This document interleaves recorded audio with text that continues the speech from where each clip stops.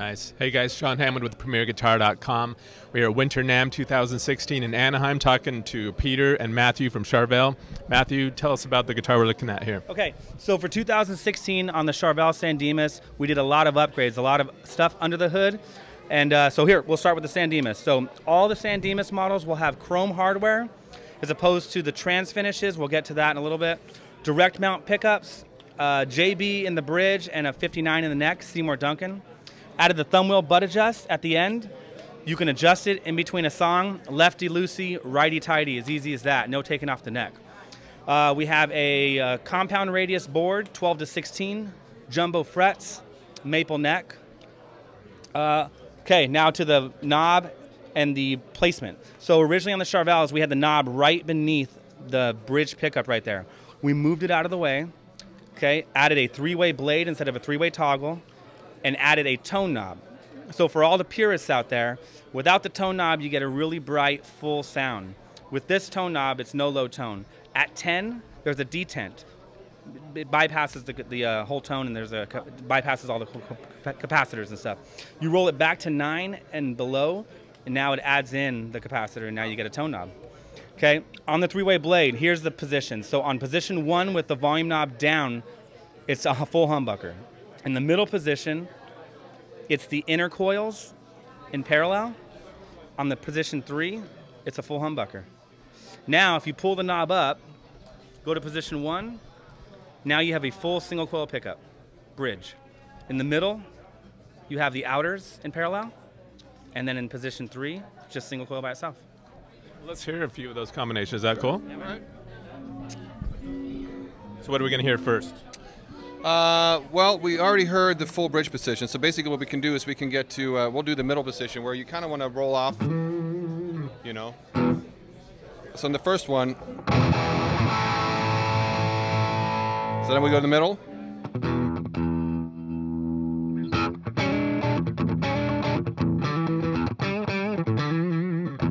So you kind of get that spanky sound, you know what I'm saying? And I think a big reason for us why we did this is we felt like you maybe were a little bit limited before with Charvels, that you, you had three different combinations and that was basically it. We want people to be able to have one guitar that can do pretty much anything you want, you know? So, you know, for cleans, this is this is perfect, you know.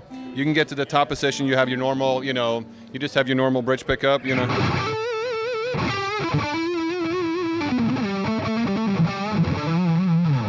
Okay, so we, kind of we had to roll off a little gain here. Basically, what we do is so when you when you put when you pull it up, you know, and you stay in the first one, you're gonna get that single coil feel, you know. That's spanky. And then in the center, you know, you're gonna have outer coils, which is gonna be a little bit different too.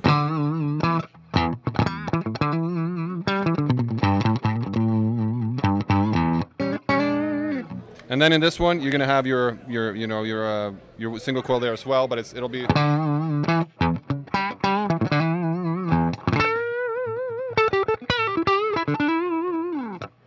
So more compressed. Yeah, yeah, exactly. I mean, so basically, it's just having all these variations with one guitar. You're looking at it, it kind of looks, you know, kind of looks similar to what we had before, but as you see, with, we have all these different combinations, so you can get a lot of different variations, and it's suitable for a lot of players because of that. Cool. Swiss so, Army knife. Swiss Army knife. How much is this going for? They're gonna street out at about 8.99. MSRP is around 12.08. Mm-hmm. Lot of, we have a lot of different finishes here as well. I mean, we kind of just chose the most, the more eccentric ones, but this one will come in trans finishes as well. So we're going to have a tobacco burst, there's going to be a purple burst, and we're going to have a trans black and a the trans red. Exactly. So this They're like glowing in the dark right it now. It almost looks like it does, right? It's pretty cool. Yeah. So we got these screaming colors as well, you know, for the kind of like an '80s throwback as well. So we have we have this one, and uh, over here we have we have the uh, the hardtail version of this one. This used to come in a hum sing this year we decided that it's we want to give people the same tonal options as the other one. So we have uh, chosen to uh, uh, to switch over to a humbucker. Uh, same configurations here with the no load that Matt was talking about. You know, push pull. So you're basically getting the same thing. It's just in a hardtail version. This nice one, finish, and the yeah. white pickups look really nice on there. Yeah, and this is basically the same thing. We got a JB and a 59 here. Um, this this model only used to come with the maple fingerboard, but we've added uh, we've added rosewood to this one this this year as well. This one comes in five finishes. We have snow white. We got got the satin uh, cobalt blue. We got the orange, uh, satin orange blaze, a trans blue, and a. Am I missing one? Yeah, metallic black. Metallic black. Yeah.